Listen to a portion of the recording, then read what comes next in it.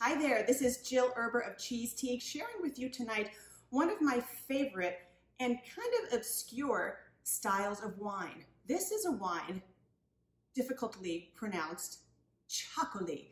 And it's difficultly pronounced because when you say txakoli, it's not so hard. But the fact that it's got that tricky little TX going on in the beginning makes it kind of a tongue twister. Fun wine to say, but even more fun to drink. So this wine is made in the Basque region.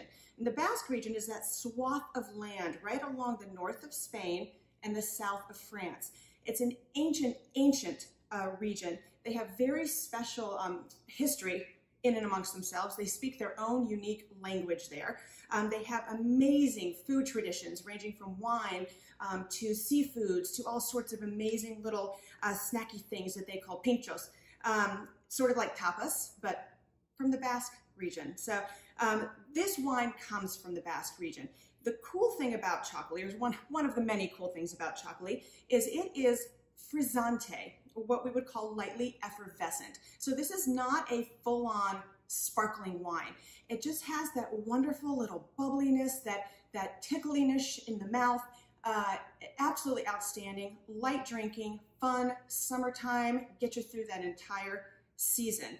Another really cool thing about this very special Basque wine is not only its exotic spelling uh, and its fun pronunciation, but the method by which this wine is traditionally poured when you are visiting uh, this region.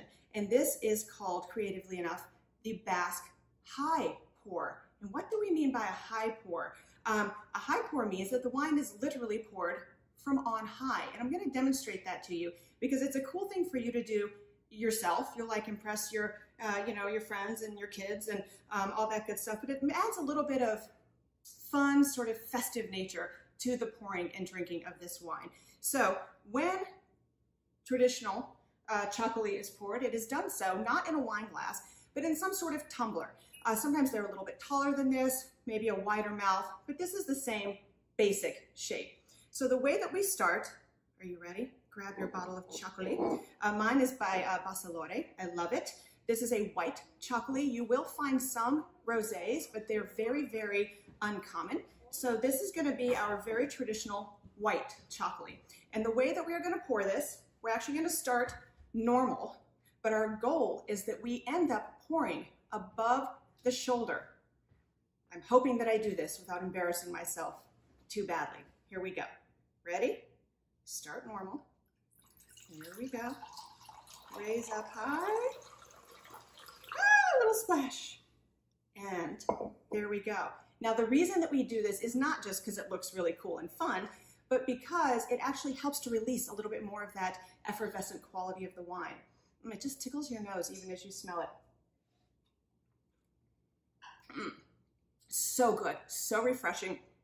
Oh, it's like a little spritzer right out of the bottle. So get yourself a bottle of txakoli, pour way. It does take some practice. I mean, mine was not super refined. I have not yet gotten my Basque credentials of high pouring, but one day I will be there. Enjoy your txakoli.